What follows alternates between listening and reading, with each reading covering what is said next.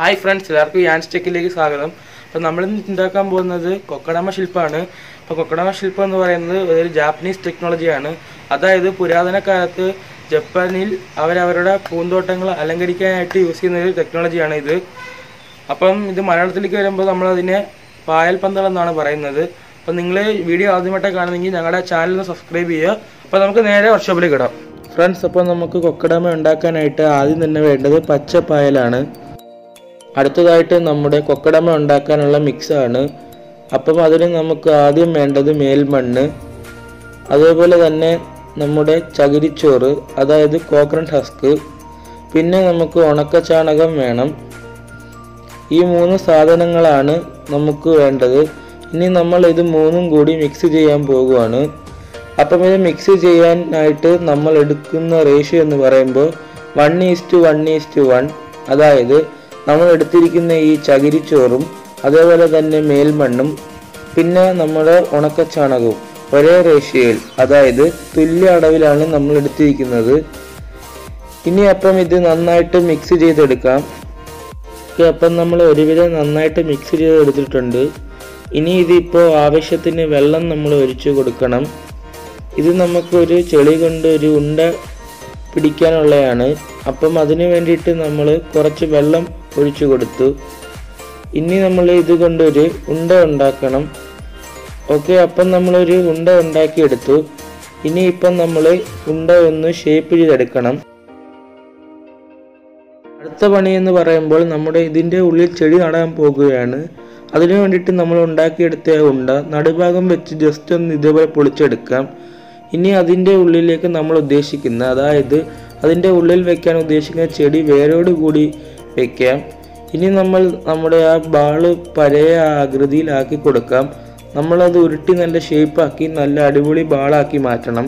ഇനി അടുത്ത പണി എന്ന് പറയുമ്പോൾ നമ്മൾ ഇതിൽ കോട്ടന്റെ തുണി ചുറ്റിയെടുക്കണം. അപ്പം നമ്മൾ കനം കുറഞ്ഞ കോട്ടൺ തുണിയാണ് എടുത്തിരിക്കുന്നത്. ഈ തുണി എന്തിനെന്ന് വെച്ചിട്ടുണ്ടെങ്കിൽ നമ്മുടെ കളിമണ്ണ് കൊണ്ടുണ്ടാക്കിയ ആ ഒരു മിക്സ് അത് വെള്ളം നനയ്ക്കുമ്പോൾ ഇളകിപ്പോകാതിരിക്കാനും ഷേപ്പിൽ വ്യത്യാസം വരാതിരിക്കാൻ വേണ്ടിയിട്ടാണ് നമ്മൾ ഇങ്ങനെ തുണി ചുറ്റിയെടുക്കുന്നത്. നമ്മുടെ തുണി നമ്മൾ ചുറ്റി കഴിഞ്ഞു. ഇനി ഇതിപ്പോൾ തുണി അഴിഞ്ഞു പോകാതിരിക്കാൻ വേണ്ടിയിട്ട് നമ്മൾ വെള്ള നൂൽ വെച്ച് ഇത് ചുറ്റുകയാണ് ഇതിപ്പോൾ നമ്മൾ തയ്ക്കാൻ വേണ്ടി യൂസ് ചെയ്യുന്ന നൂലാണ്. അപ്പോൾ നമ്മൾ രണ്ട് മൂന്ന് ചുറ്റ് ചുറ്റിയിട്ടുണ്ടെങ്കിൽ നമ്മുടെ ആ കോട്ടൺ അവിടെ ടൈറ്റായിട്ട് ഇരിക്കുന്നതാണ്. ഇനിയിപ്പം നമ്മൾ ഉണ്ടാക്കിയെടുത്ത ഈ ഒരു ബോളിൽ നമുക്ക് പായൽ പിടിപ്പിക്കണം. ഇപ്പം നമ്മൾ ഒരു പായലെടുത്തിട്ട് നമുക്ക് ഈ ബോളിന് മുകളിൽ വെച്ചിട്ട് നമ്മൾ പച്ച നൂലെടുത്തതിന് ശേഷം നമുക്കൊന്ന് ചുറ്റി കൊടുക്കാം ഇതേപോലെ തന്നെ നമ്മൾ എല്ലാ പായലുകളും കറക്റ്റ് അതിന്റെ രീതിയിൽ വെച്ചിട്ട് നമ്മൾ നൂൽ വെച്ച് ചുറ്റി കൊടുക്കുന്നതാണ്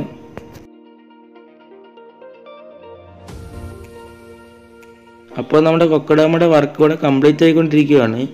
ഇനി നമ്മൾ ഈ ഒരു പീസും കൂടെ വെച്ചിട്ടുണ്ടെങ്കിൽ നമ്മുടെ പായലിന്റെ വർക്ക് കൂടെ കംപ്ലീറ്റ് ആയിട്ടുണ്ട്. ഇനി നമുക്ക് ലാസ്റ്റായിട്ട് നമ്മൾ നൂൽ വെച്ച് ഫുള്ളായിട്ടും ചുറ്റി കൊടുക്കാം. അപ്പം നമ്മുടെ പായലൊക്കെ അവിടെ സെറ്റായിട്ടിരിക്കുന്നതായിരിക്കും അപ്പം നമ്മൾ നൂൽ നല്ലോണം ചുറ്റി എടുത്തിട്ടുണ്ട്. ഇനി നമ്മൾ നൂൽ പൊട്ടിച്ച് കളഞ്ഞിട്ടുണ്ടെങ്കിൽ നമ്മുടെ കൊക്കടമ്മയുടെ വർക്ക് ഇവിടെ റെഡി ആയിട്ടുണ്ട്. ഫ്രണ്ട്സ് അപ്പോൾ നമ്മുടെ ആദ്യത്തെ കൊക്കടമ്മ റെഡി ആയിട്ടുണ്ട്. അപ്പം എല്ലാവർക്കും ഒരു ഡൗട്ട് വരും. ഇതിനകത്ത് നമ്മൾ എങ്ങനെ വെള്ളം നനയ്ക്കുക എന്ന് അപ്പോൾ നമ്മൾ വെള്ളം നനയ്ക്കുന്ന ഒരു സ്പ്രേയർ യൂസ് ചെയ്തിട്ടാണ്. അപ്പം നമ്മൾ ഇത് ഇങ്ങനെ സ്പ്രേ ചെയ്ത് കൊടുക്കാം. അതല്ലെങ്കിൽ ഉള്ള വേറൊരു മെത്തേഡ് എന്ന് പറയുമ്പോൾ നമ്മൾ ഒരു പാത്രത്തിൽ വെള്ളം എടുത്തിട്ട് നമ്മളൊരു പത്ത് സെക്കൻഡ് അതിൽ മുക്കി വെച്ചിട്ട് നമുക്ക് എടുത്തിട്ട് ശേഷം ഇത് എടുത്തു വയ്ക്കാവുന്നതാണ് അപ്പോൾ നമ്മൾ ഇത് വേണമെങ്കിൽ നമുക്ക് തൂക്കിയിടാവുന്നതാണ്. അല്ലെങ്കിൽ നമുക്കൊരു സ്റ്റാൻഡ് വെച്ചിട്ട് അതിന് മേളിൽ വെക്കാവുന്നതാണ്. അപ്പോൾ നമ്മൾ വേറൊരു കൊക്കടമ്മ കൂടെ ഉണ്ടാക്കിയെടുത്തിട്ടുണ്ട്. അപ്പോൾ നമുക്ക് അതിന്റെ ക്ലിപ്സൊക്കെ ഒന്ന് കാണാം.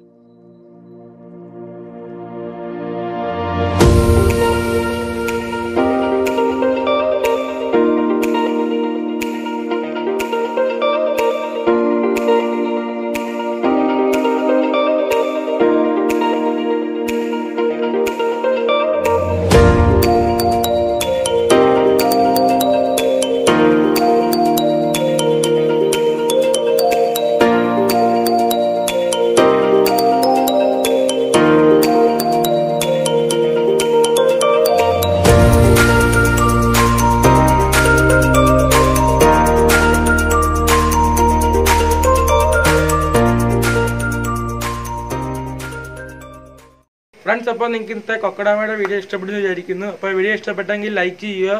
വീഡിയോ ഇഷ്ടപ്പെട്ടെങ്കിൽ ഡിസ്ലൈക്ക് ചെയ്യുക. പിന്നെ നിങ്ങളുടെ അഭിപ്രായങ്ങളൊക്കെ വീഡിയോ താഴെ കമന്റ് ചെയ്യുക.